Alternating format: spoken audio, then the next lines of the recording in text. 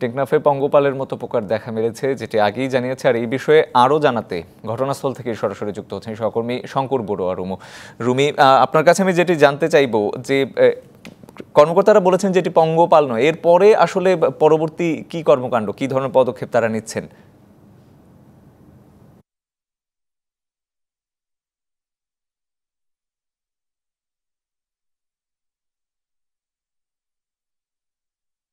এখানে পরিদর্শনে আসা তদন্ত টিমের সদস্যদের সাথে আমি কথা বলেছি।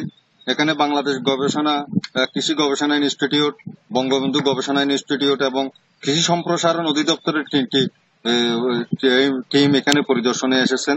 তারা জানিয়েছেন এইগুলো আসলে অপ্রধান ক্ষতিকর পোকা বলে তারা দাবি করেছেন। এগুলো বাংলাদেশে এর আগেও অস্তিত্ব দেখা মিলেছে।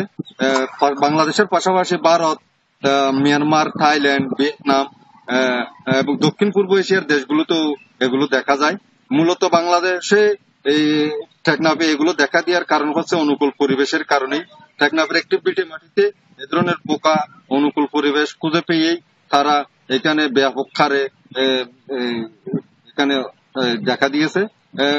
কৃষি সম্প্রসারণ অধিদপ্তর সহ এখানে গবেষক বিজ্ঞানীরা জানিয়েছেন, এগুলো সাধারণ কীটনাশক এবং বালাই দিয়েই মূলত এগুলো দমন করা যায় এবং এগুলো যাতে ব্যাপক হারে ছড়িয়ে পড়তে না পারে যদিও ক্ষতিকর পোকা সেজন্য তারা কৃষি সম্প্রসারণ অধিদপ্তরের এখানকার স্থানীয় কর্মকর্তাদের নির্দেশ দিয়েছেন, সাধারণ বালাই নাশক কীটনাশকগুলো দিয়ে যাতে এগুলোর বংশবিস্তার এবং দমন রোধ করা যায়। শুভ্র রুমি, আপনাকে ধন্যবাদ।